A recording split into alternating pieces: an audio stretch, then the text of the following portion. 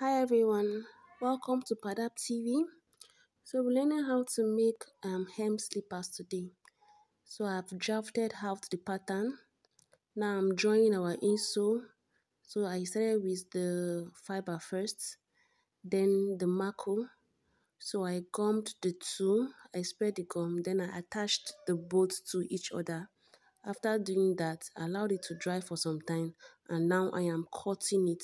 After cutting it, I'll make sure I use my cutter to also trim the edges so that when I am filing, it will not be so difficult for me and I will not spend so much time at the filing machine. So in putting them together, you need to use your gum. After that, allow it to dry for some time before filing. Now I am trying to cover cover the insole and this is how you cover your insole. You make the leather slightly bigger than the insole. Spread your gum, allow it to dry for some time before gumming it. That's how you get your insole. But before that, I had already cut my sole and my heel. Now I'm trying to apply gum. Now this is sole and the heel.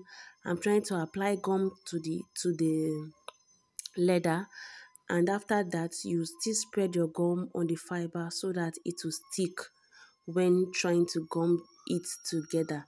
Now this is an idea of it and I had already filed the Nora, that's um, the sole, and I had already filed the heel.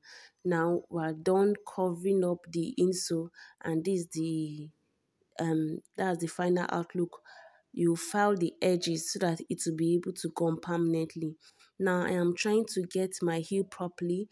I applied gum, spread gum on the heel and I have attached it. Please, you allow it to dry. Please allow it to dry. And after that, you make sure you hammer it properly. Make sure you hammer it properly.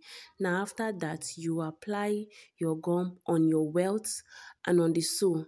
And not forgetting that uh, the sole for a welted work is always bigger than the insole because you will give space for the welt like you are seeing here. Now I am trying to attach everything together. After covering the insole, I'm trying to apply, um, fix the welt now.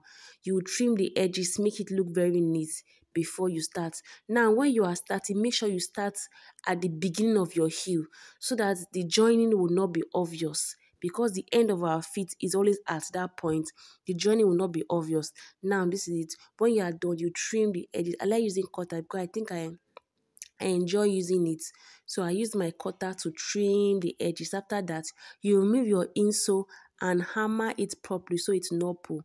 This is the pattern I am trying to file the the lining and the face of it together and I am also trying to file the welted part as well. Now I finished, I applied my dye, I marked the point where I am supposed to put my pattern and that is it. I applied gum, let it dry for some time and I've been able to last it. After lasting it, the next thing you do is you are, we are already halfway gone. Gone. You are applying your gum on um on your insole and on your welt as well. After doing that, allow it to dry as well.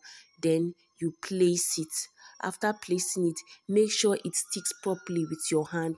Adjust it with your hand first before you will start to hammer it. Now, this is it, the final outlook. Thank you guys for watching. Thank you for your time.